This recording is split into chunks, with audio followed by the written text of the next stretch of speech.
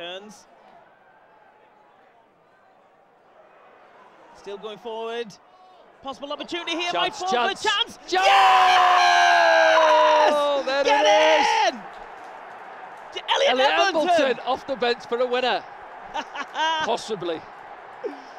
Oh my goodness, the, the Sunderland fans. fans. are going mad.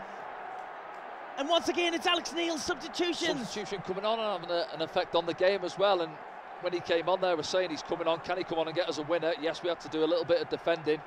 But again, look at the build-up play. Matete, tidy on the ball, driving in there. Bounces in. Is it Luke 9? Comes in narrow. Ross Stewart just lends it into his path. And what a lovely little finish that is